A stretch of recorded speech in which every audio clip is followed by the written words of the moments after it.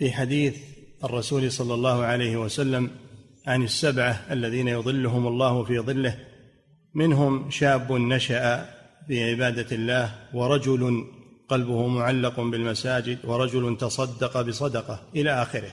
يقول هل هذا خاص بالرجال أم تدخل فيه النساء؟ في كل عباد الله عز وجل من رجال ونساء. نعم.